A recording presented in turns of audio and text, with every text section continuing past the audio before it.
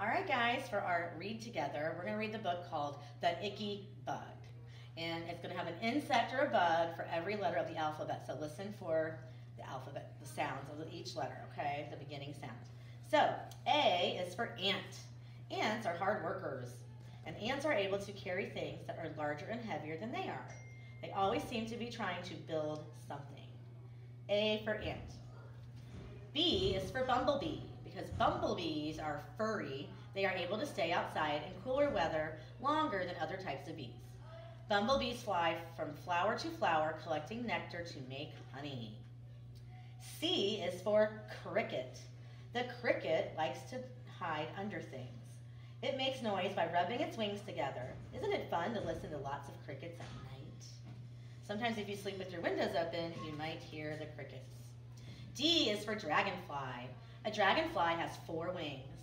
When dragonflies stop flying and take a rest, they are unable to fold their wings back.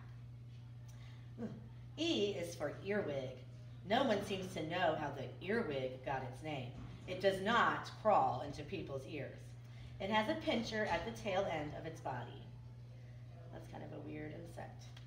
F is for firefly. Fireflies shine like light bulbs in the dark. When they light up, they can find each other more easily. Fireflies are easy to catch because they fly slowly. G is for grasshopper. Grasshoppers can jump really well. If you try to catch one, it will usually jump away just as you are about to touch it.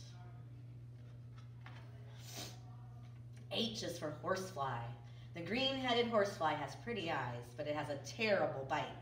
If one of them lands on you, be careful. I is for Io moth. The Io moth has two spots on its lower wings that look like eyes. When birds go near these moths and see the spots, they become startled and fly away. Cool. J is for Japanese beetle. These beetles love to eat flowers. Sometimes they eat so much that they cause lots of damage to the plants. K is for katydid. Katydids, like crickets, make noise by rubbing their wings together. The noise they make sounds like their name. Sometimes they say, Katie didn't. That's kind of silly. L is for ladybug. This insect is really called a ladybird beetle. They are so round it is hard to believe that they can fly, but they can. M is for monarch butterfly. Monarchs are known for migrating. They fly from Canada all the way to Mexico. Birds know that monarchs taste awful, so they will never go near them. That's pretty interesting. N is for no-see-ums. No-see-ums is a word for tiny insects that are almost impossible to see. They are flies that are really called midges. They can make people miserable because they bite. O is for orb weaver. Spiders that make round orb-shaped webs are called orb weavers. Many people are frightened by spiders, but most of them will not hurt you. P is for praying mantis. It is called a praying mantis because it looks like it is kneeling and praying. Gardeners and farmers like this insect because it eats pesky bugs that are harmful to vegetables and other plants. Q is for queen bee. In a beehive, there is only one queen bee. She can lay thousands of eggs per day. The other bees take very good care of her. It's like the mama. R is for red admiral. This butterfly is not bright red like an apple or a cherry. It is a rusty orange color. Red admirals are very difficult to catch because they zigzag and fly very fast. S is for scorpion. A scorpion is really scary looking and has a stinger at the end of its tail, and it has two front pinchers just like a lobster. Would you like to be stung by a scorpion? Not me. T is for tarantula. Tarantulas are big, furry spiders. They can grow to be as large as your hand.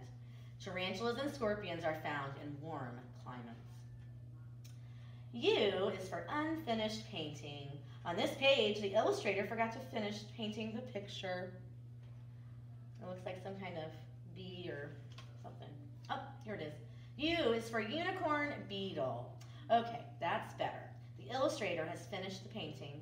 The unicorn beetle has a single horn sticking out of its head. V is for velvet mite. These creatures are red and so small that you can hardly see them. About 30 of them could fit on the fingernail on your thumb. Wow. W is for water spider. These spiders make their home underwater. They weave a special web that allows them to bring air below the surface of the water. They catch and eat things that swim or float nearby. X is for the marking on the back of this bug. We could not find a bug whose name began with letter X, so this bug is called a cotton stainer. And as you can see, it looks like there's an X on its back. Y is for yellow paint bug. This bug is very easy to see because of its bright color. It has six legs, just like all other insects. And finally, Z is for zebra butterfly. Zillions of them flying all at once is a beautiful sight. All right, very cool. So that's a lot of different insects and bugs for every letter of the alphabet. Very cool. All right, guys, hope you have a great day, and we'll see you later.